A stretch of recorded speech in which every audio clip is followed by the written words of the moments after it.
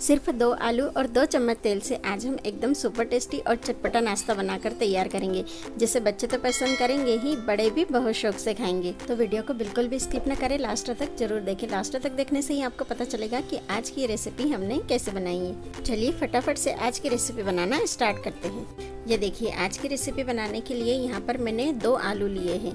आलू medium size के हैं, बहुत ज़्यादा बड़े भी नहीं हैं और बहुत ज़्यादा छोटे भी नहीं हैं। सबसे पहले हम आलूओं को अच्छे से छील लेंगे और छीलकर इस तरीके से बड़े बड़े टुकड़ों में काट लेंगे।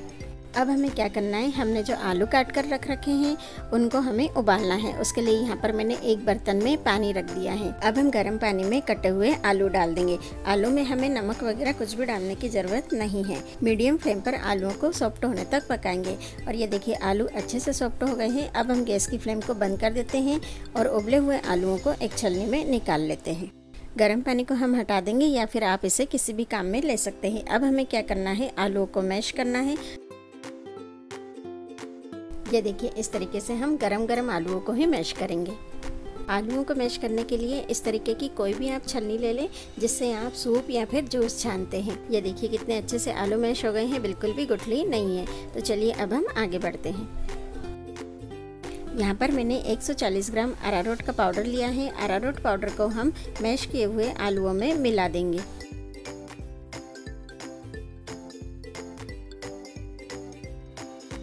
अब हम क्या करेंगे? आलू को और अरारोट पाउडर को अच्छे से मिक्स कर लेंगे। ये देखिए, यहाँ पर मैंने आलू और अरारोट पाउडर दोनों को अच्छे से मिक्स कर लिया है। अब हम एक छोटी सी चम्मच से थोड़ा थोड़ा पानी डालते जाएँगे और डो लगाकर तैयार कर लेंगे। अरारोट का पाउडर है, थोड़ी देर तो ये हाथों से चिपकेगा फिर अपने आप सेट हो जाएगा। ये देखिए, इस तरीके से हमें थोड़ा थोड़ा पानी डालते जाना है और ना तो हमें बहुत ज़्यादा सॉफ्ट डो लगाना है और ना ही बहुत ज़्यादा टाइट लगाना है। बर्तन में थोड़ा सा तेल लगा ले, जिससे जितना भी आटा आसपास चिपक रहा है, वो सब आसानी से निकल जाएगा। ये देखिए, इस तरीके से हमें डो लगा के तैयार करना है। ये बहुत ज़्यादा सॉफ्ट भी नहीं है और बहुत ज़्यादा टाइट भी नहीं है। अब हम क्या करेंगे? तेल लगाकर हाथों को चिकना कर लेंगे और गुथे हुए आटे की छोटी छोटी बोल्स बनाकर तैयार करेंगे। बोल्स की साइज़ हमें इतनी बड़ी रखनी है कि हम एक बाइट में इसे आराम से खा सकते हैं।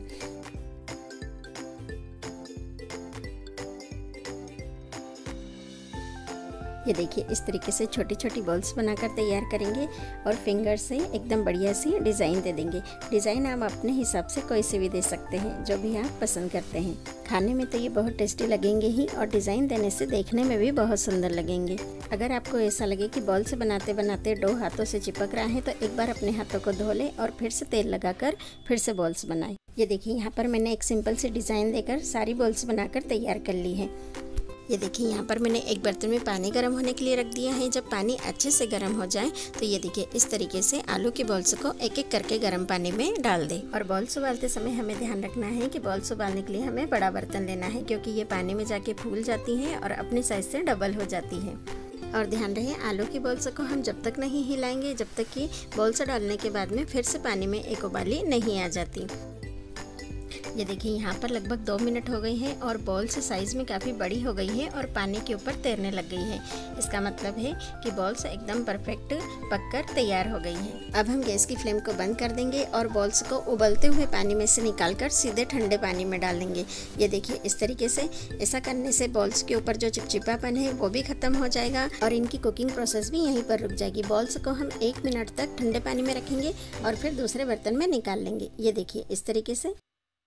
अब हम नाश्ता बनाने के लिए एकदम बढ़िया सी ग्रेवी तैयार करेंगे। उसके लिए मैंने एक शिमला मिर्च, दो मीडियम साइज़ के प्याज, चार हरी मिर्च और 10 से 12 लहसुन की कलियाँ ले ली है। इनमें से हम शिमला मिर्च, प्याज और लहसुन को बारीक बारीक कट कर लेंगे और हरी मिर्च को लंबाई में कट कर लेंगे। यहाँ पर मैंने एक कढ़ाई में एक से डेढ़ चम्मच तेल ले लिया है। तेल अच्छे से गर्म हो गया है। अब हम इसमें बारीक कट किया हुआ लहसुन ऐड करेंगे और लहसुन को हम सॉफ्ट होने तक फ्राई करेंगे। देखिए, यहाँ पर लहसुन अच्छे से सॉफ्ट हो गए हैं। अब हम इसमें शिमला मिर्च और हरी मिर्च ऐड करेंगे। हरी मिर्च और शिमला मिर्च को भी हमें बहुत ज़्यादा देर तक नहीं पकाना है, सिर्फ़ हल्का सा कलर चेंज होने तक ही हम पकाएँगे। अब हम इसमें बारीक कटे हुए प्याज ऐड करेंगे और प्याज को भी हम कलर चेंज होने तक पकाएँगे। ये देखिए, प्याज भी अच्छे से भुनकर तैयार हो गए हैं। अब हम इसमें उबली हुई आलू की बॉल्स ऐड करेंगे।